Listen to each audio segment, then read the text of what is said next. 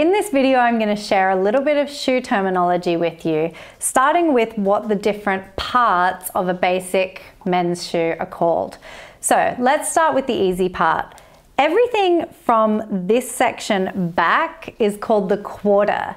Now, usually the quarter is in two separate pieces like that, but sometimes it's all done in one piece like I've done here on this shoe. Now, from this area down the front is called the vamp.